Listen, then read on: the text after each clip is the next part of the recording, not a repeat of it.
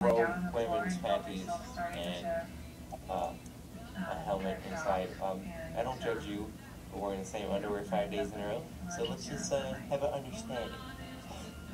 So I'm gonna let you guys speculate who that was over there. He, she, inanimate object. I'm not gonna tell you. You can speculate in the comments below.